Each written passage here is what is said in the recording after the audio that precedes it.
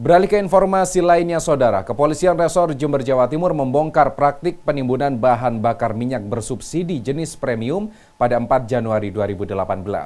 Dalam aksinya, pelaku memodifikasi saluran pengisian BBM kendaraan hingga dapat memuat lebih banyak BBM dibandingkan tangki mobil biasa.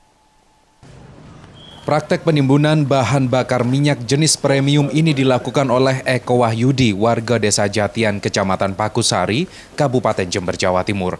Praktek ilegal ini dilakukan tersangka dengan memodifikasi saluran pengisian tangki BBM sehingga bisa terisi enam kali lebih banyak dibandingkan tangki mobil biasa.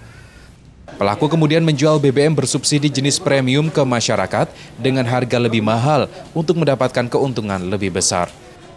Praktik ini dinilai ilegal karena tersangka tidak memiliki izin penyaluran bahan bakar minyak bersubsidi.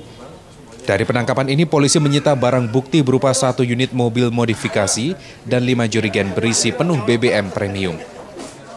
Ada salah satu warga yang mana uh, mengkonsumsi uh, premium dari SPBU, kemudian dengan menggunakan mobil yang mana mobil tersebut sudah dimodifikasi, sehingga ada dua lubang. Yang lubang pertama adalah untuk uh, pembakaran kendaraan bermotor, yang satu lagi itu dimodifikasi disambung dengan selang sampai dengan ke uh, jirigen yang dimodifikasi di, di bawah mobil tersebut sehingga uh, bisa menampung cukup banyak bahan bakar uh, di dalam tangki kendaraan tersebut.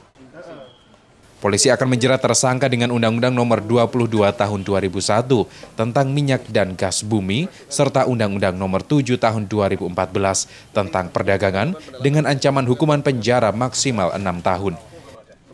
Hernawan Mustika, Kompas TV Jember, Jawa Timur.